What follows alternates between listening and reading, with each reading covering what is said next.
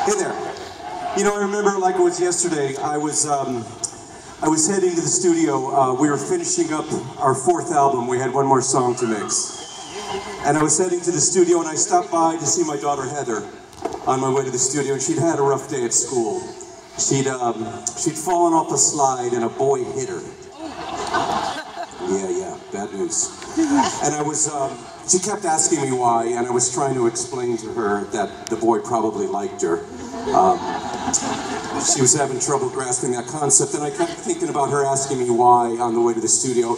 And I got to the studio, and the guys were in the booth putting up the mix to Africa. It was our last song to mix.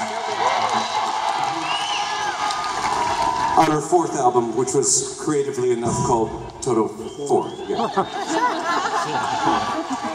Anyway, the guys were putting up the mix. I went out into the studio where there was the piano and no one else. And with Heather's words ringing in my head, I came up with this.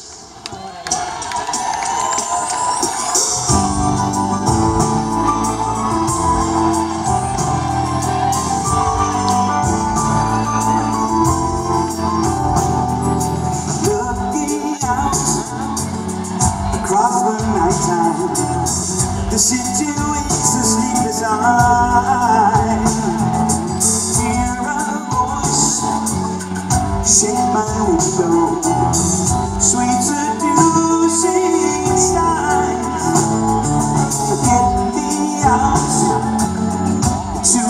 nighttime Four walls won't hold me tonight